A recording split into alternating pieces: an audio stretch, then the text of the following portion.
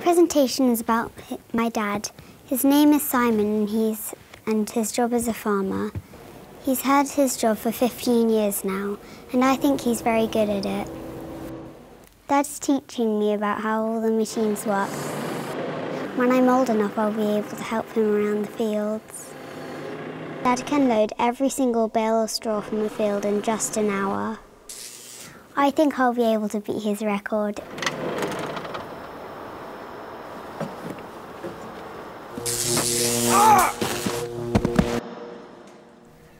Dad said he really, he'd be really impressed if he could see that. One day I'll do Dad's job instead of him.